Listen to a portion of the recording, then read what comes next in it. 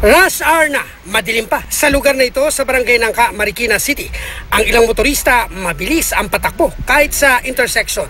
Kaya nagkabulagaan ng kotse at rider na hindi na nakapagpreno dahil sa bilis ng pangyayari.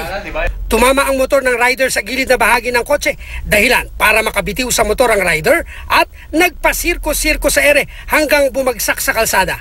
Hindi pa kumpleto ang suot na protective gear ng rider kaya napuruan ng ilang bahagi ng katawan.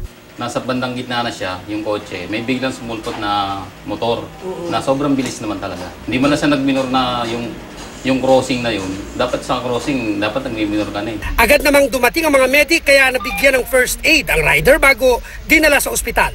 Sinagot ng driver ng kotse ang pagpapa-ospital sa rider.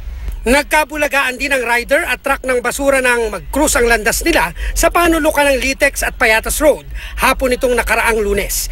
Parehong mabilis ang takbo ng dalawang motorista at pareho silang hindi agad nakapagpreno nang tumawid sa intersection. Nang maramdaman ang pagbangga ng motor sa truck, nagpreno ang driver. Mabuti na lang at nakatalo ng rider kaya motor niya lang ang pumailalim sa truck.